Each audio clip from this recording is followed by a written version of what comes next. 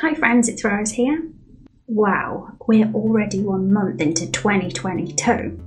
Isn't it scary how quickly the days pass by?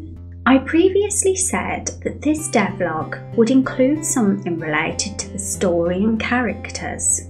That was originally the plan, but that will be in the next devlog instead.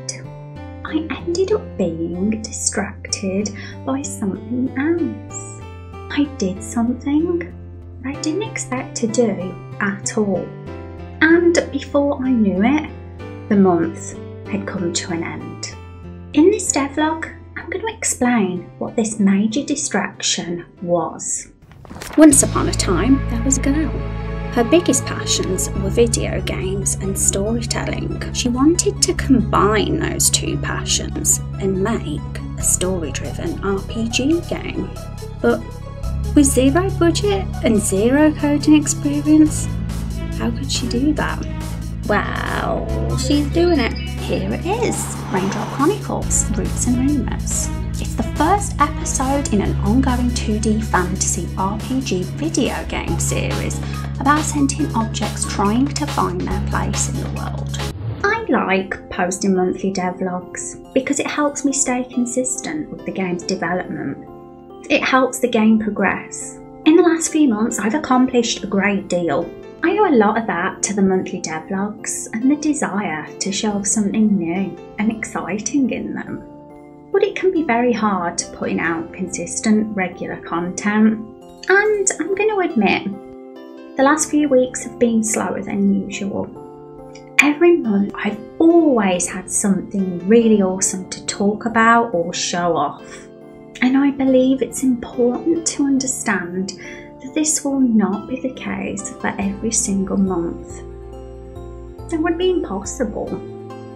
For the most part, this month has consisted of um, just a lot of research, learning, and trial and error. I've been experimenting with something, and that is dynamic lighting in Unity.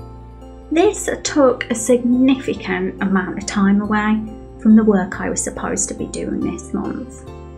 In all honesty, I had no intention of that happening.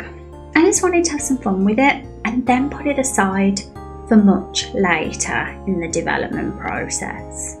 But it was impossible to not want to immerse myself more deeply into it. After I experimented with it and saw how amazing everything looked visually. This is an example of a nighttime scene in the game. I was really surprised when I saw it. I didn't expect it to look so good and set such a mood. I'm going to run through what exactly I did to create this. I started with a global light and made it dark blue in colour. I added a few point lights of a lighter colour. Here they are and I added these to make certain areas pop out. But that's not all. The way the lighting falls here doesn't look very natural and realistic, but when I tick this box, it does. Let's uh, go in the scene and move this light and you can see exactly what the difference is. So this is without ticking the box. And this is with it ticked.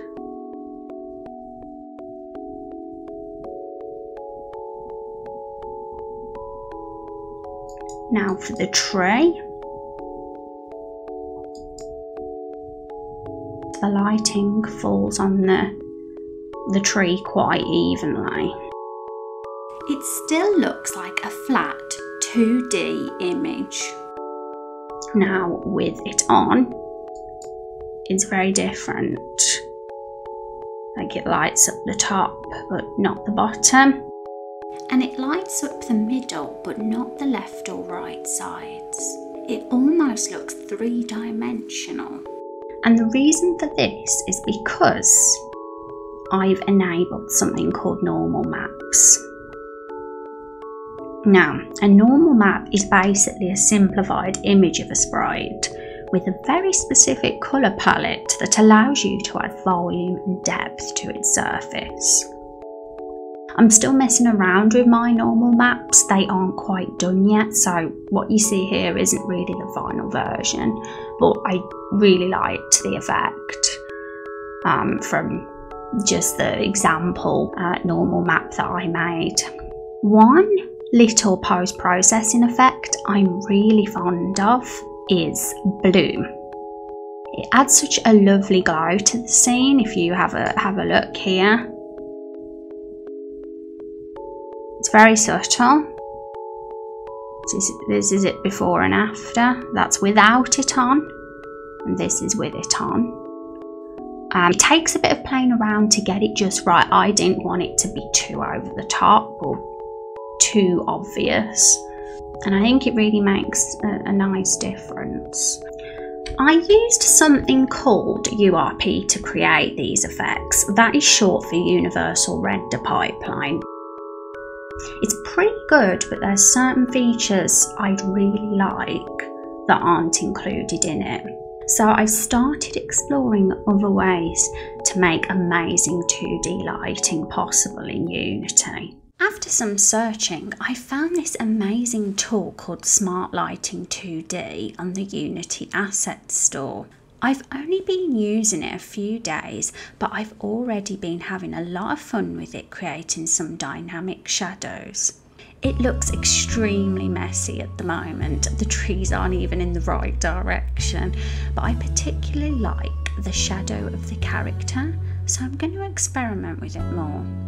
And just so you know, I'm nowhere close to the final version. Dynamic lighting is an ongoing project that I'm most likely not going to master until the game is close to being released. I recently decided to dedicate a small chapter in each devlog to a story character or world building topic to spark some fun discussions in our Discord. It's possible there will be some devlogs where I don't do this, especially if it's a super busy month, but I'd like to do it as often as I can. In Raindrop Chronicles, the people of Everbloom Forest are experiencing an unforeseen change. They are seeing objects suddenly come to life. They fear these objects could harm their safety and their friends and family. Their comfort zones have been taken away from them. I've bolded the words that link to the central themes of episode 1 Roots and Rumours. Funnily enough, safety is actually one of the lower levels on Maslow's hierarchy of needs. Going by this psychology theory, the characters in this episode can't reach the higher levels on this pyramid, not until they've overcome these base needs. As the story begins, many characters are hiding in their village like frozen rabbits. But don't worry, there's going to be more to them than just that. They will each add something to the story by demonstrating different ways of coping and feeling safe during this sudden change in their lives. Carol copes by hiding and yelling and getting angry when confronted. Nigel copes by standing in silent panic and writing diaries and Fiona copes by running away. Here are some other ways characters might cope to feel safer. If you think of any more, feel free to comment below or discuss it in the Discord.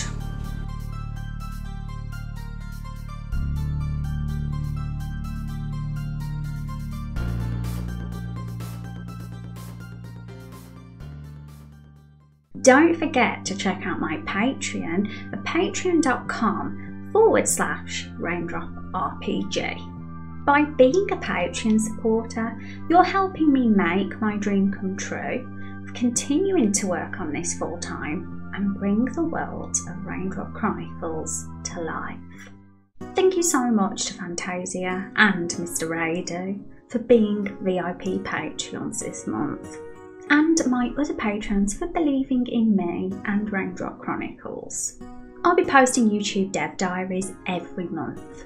They will be the best way to follow the game development journey, so don't forget to subscribe and smash that like button. See you next time for February 2022's Devlog Diary. That's my awful attempt at winking. I can't wink. Never known how to actually. Yeah, I won't do that again. It's a bit scary.